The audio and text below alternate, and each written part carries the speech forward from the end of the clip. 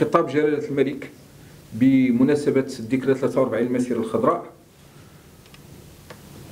أولا الحكومة معبأة ومجندة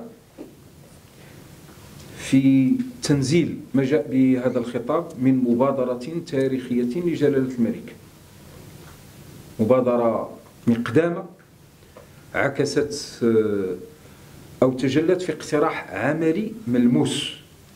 يقوم على يد ممدودة إلى الجزائر تبديل سوء تفاهم ووضع إطار للتعاون. نعم نعرف الصعوبات ولكن كما جاء في خطاب جلالة الملك ينبغي أن نبني على الماضي المشترك ماضي المقاومة المشتركة وأن نؤسس من روابط الأسر التي تشكلت مستقبلا لنا جميعا.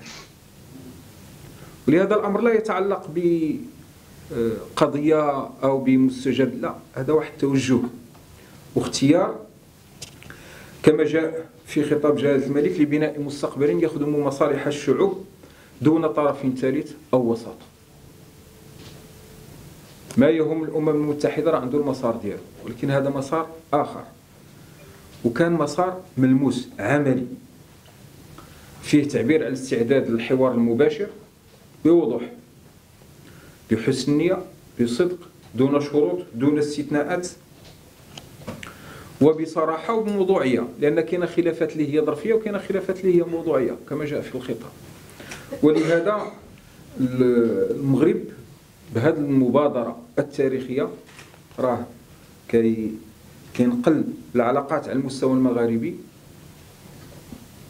أو يضع أسس انتقالها إلى مرحلة جديدة. هنالك الشق الثاني في خطاب جلالة الملك المتعلق بتأكيد مبادئ ديال الوضوح والطموح سواء في العلاقة مع الاتحاد الأوروبي أو في العلاقة مع الأمم المتحدة لا العلاقة مع الاتحاد الإفريقي أو في العلاقة مع الأمم المتحدة. وهي مبادئ واضحة. من بين مستنتجاتها مسألة التعاون الصادق مع المبعوث الشخصي الأمين العام للأمم المتحدة. هذا مسار كما قلت الذي سيتقدم ونحن إن شاء الله نأمل خيرا في المستقبل.